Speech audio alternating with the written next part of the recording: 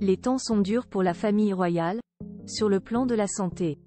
Via un communiqué officiel, Kensington Palace annonçait, le 17 janvier 2024 dernier que Kate Middleton avait été hospitalisée pour une opération programmée à l'abdomen.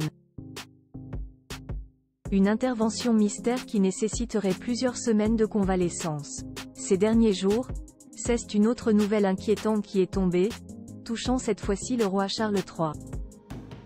Famille royale, les mauvaises nouvelles de santé s'accumulent le début d'année est rude pour la famille royale qui voit les mauvaises nouvelles de santé pleuvoir.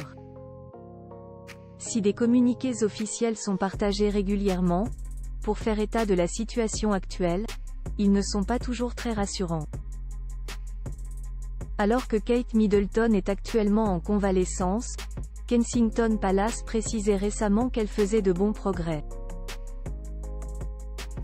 Une formulation qui se voulait sans doute réconfortante, mais qui a en réalité semé le doute sur la gravité de l'opération subie par la princesse de Galles.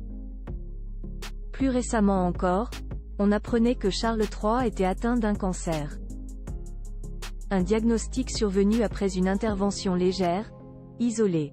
Un coup dur de plus pour la famille royale qui doit s'adapter pour assurer les engagements officiels du roi, tout en lui apportant son soutien ainsi qu'à Kate Middleton.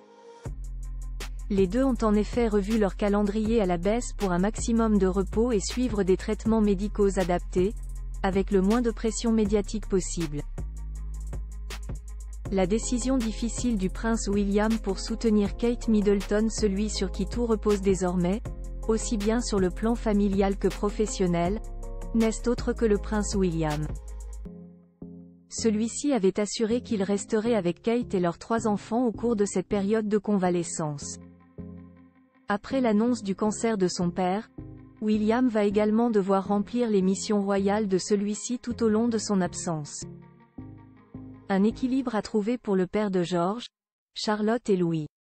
C'est pourquoi il assurera les engagements royaux officiels ce mercredi 7 février, au cours de la journée et de la soirée mais a laissé son agenda vide pour le reste de la semaine. Peut-être pourra-t-il compter sur le soutien du prince Harry, arrivé depuis Los Angeles afin de rendre visite à Charles III.